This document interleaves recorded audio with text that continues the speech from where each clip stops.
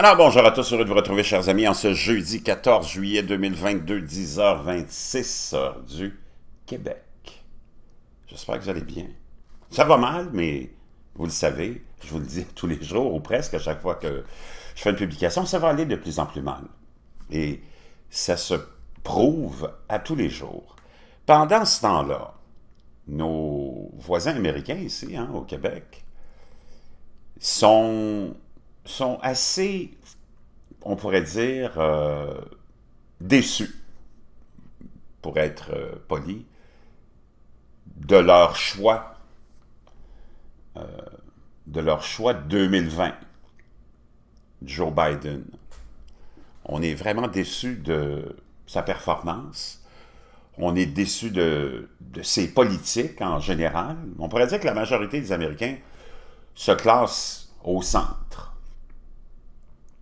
dans le Parti démocrate maintenant, on a une frange qui est de plus en plus euh, active d'extrémistes qu'on pourrait qualifier de la gauche, qui veulent transformer le pays.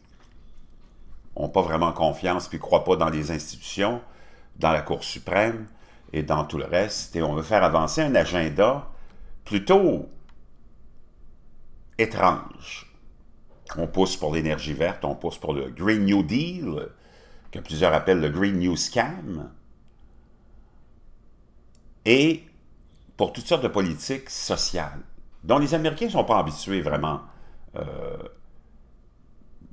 d'entendre parler, et surtout dans lequel ils n'ont aucune confiance que ça va marcher. Puis d'ailleurs, quand tu regardes l'histoire de tous ces pays communistes et gauchistes, les résultats sont un peu décevants. Sauf pour l'élite qui, elle, a toujours de plus en plus de pouvoir et de contrôle sur la population. C'est à peu près toujours ça, le résultat de la gauche. Ces gens-là se donnent plus de pouvoir, décident de plus de choses qui impliquent ta vie, dans lesquelles tu avais plus de, de contrôle, avec un gouvernement moins gros, mais naturellement, la tentation pour un politicien, c'est d'avoir toujours plus de pouvoir en prétendant être capable de régler plus de problèmes, alors qu'on en crée toujours beaucoup plus. Puis le résultat final, c'est toujours moins de liberté, moins de droits pour le citoyen ordinaire. On l'a vu pendant la pandémie, les trilliards se sont imprimés, ils ne sont pas allés dans vos poches, ils ne sont pas allés dans mes poches, ils vont toujours dans les poches des mêmes. Nous, on récolte les miettes et on a récolté les miettes et on a pris les gros coups pendant la pandémie. Surtout ceux qui étaient dans le secteur de l'hôtellerie, de la restauration, du voyage. Toutes les grandes entreprises d'aviation ont eu des milliards de dollars. Hein, dans des cas, la plupart du temps, où on avait affaire à des mauvais administrateurs depuis des années. On en a profité pour effacer toutes les dettes. Mais les petits travailleurs en ont euh, payé le prix et continuer à payer le prix. Tu ne peux pas être deux ans euh, en fermeture avec des miettes pour remplacer ton salaire, puis être capable de te remettre sur pied. Mais ce n'est pas la préoccupation des politiciens et des élus, ça, le petit monde. Ça ne l'a jamais vraiment été non plus. Eux, ce qui compte, c'est d'avoir plus de pouvoir, plus d'argent pour jouer avec cet argent-là, naturellement.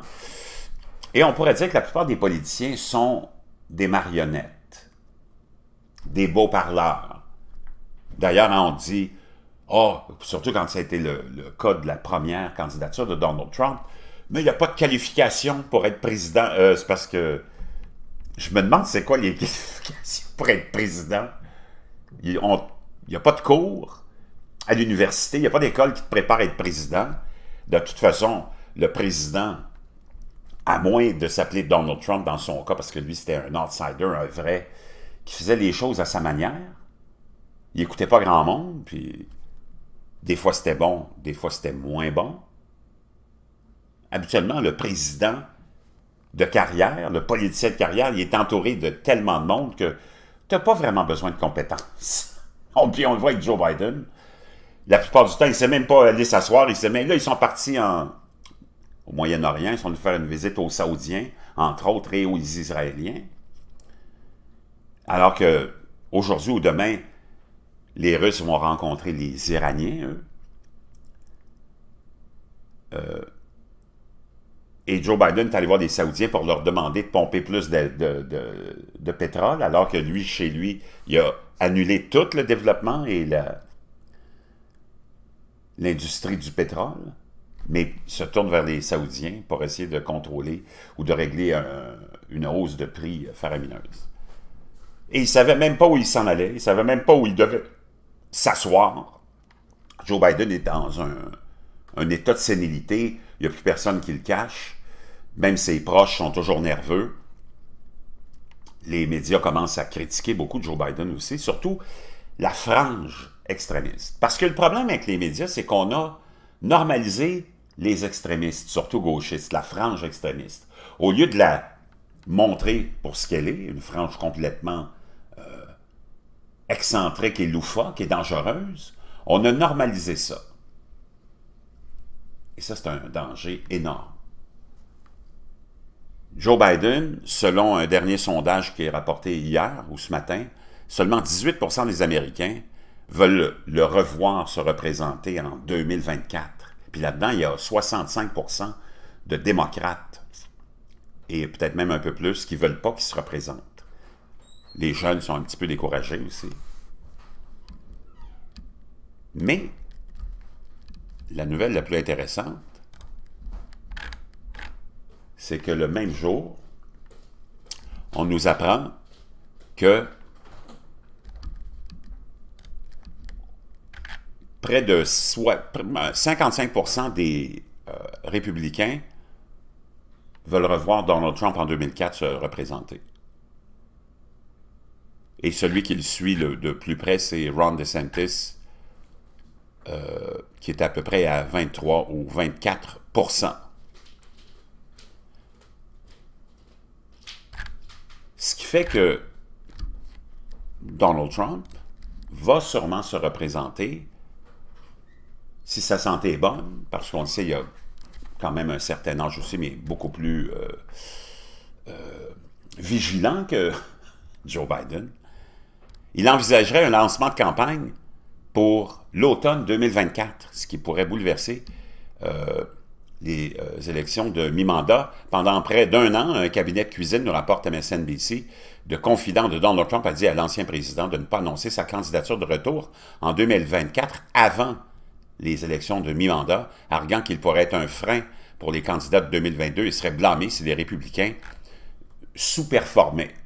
Mais Trump a continué à faire régulièrement pression pour une annonce précoce lors de réunions privées, alors que les rivaux potentiels de 2024 deviennent plus agressifs au milieu des signes d'affaiblissement du soutien au sein de sa base.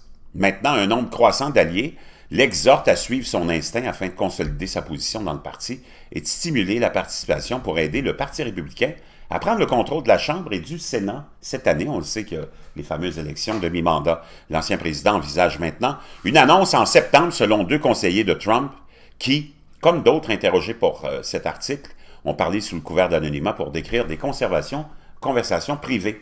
Un confident a mis les chances à 70-30 qui, qu'il annonce avant les mi-mandats et d'autres ont dit qu'il pourrait encore décider d'annoncer plus tôt, plus tôt qu'en septembre encore.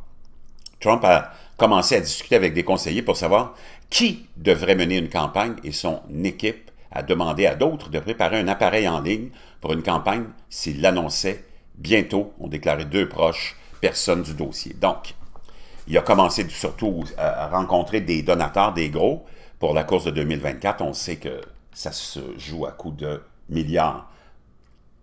Le taux de satisfaction ou d'insatisfaction du président Biden est euh, historiquement bas, plus bas même que celui de Donald Trump à l'époque. Même si Donald Trump, maintenant, la majorité des Américains s'ennuient de ses politiques. S'ennuient de ses politiques économiques, énergétiques.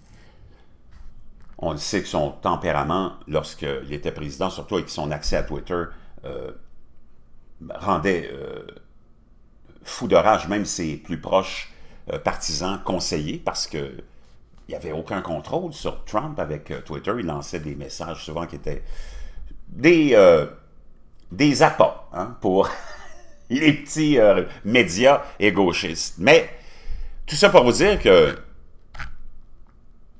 ce qu'on pensait avoir trouvé comme solution pour satisfaire les Américains, c'est-à-dire un, candidat, de, de, d'expérience, 50 ans, hein, Joe Biden, comme sénateur, c'est un échec lamentable.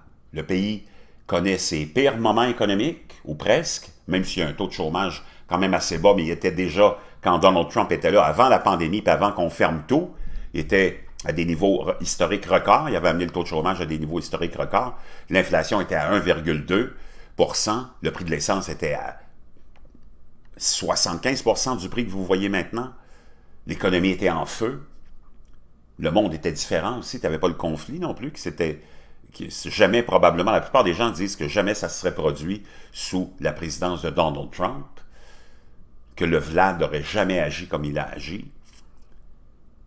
Et on voit le Moyen-Orient qui est euh, plus que jamais devenu une poudrière. Donc, beaucoup, beaucoup de gens commencent à s'ennuyer des politiques de Donald Trump, pas de son caractère, mais qu'est-ce que vous voulez? Ça, tu ne peux pas le changer, surtout à l'âge qu'il a. Il va sûrement rester, mais je pense qu'il a pris de la maturité. Donc, attendez-vous à un retour, peut-être un rematch, et ça sera dans un contexte différent. Il n'y aura pas de vote par euh, la poste, autant de votes par la poste, hein?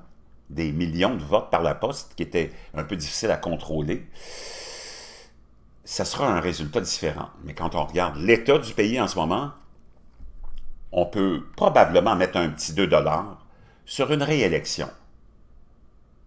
Si jamais ça se concrétise, son annonce, et ce qui semble être de plus en plus le cas, une réélection de Donald Trump. Mouture 2024, mais on va avoir amplement de temps pour s'en parler.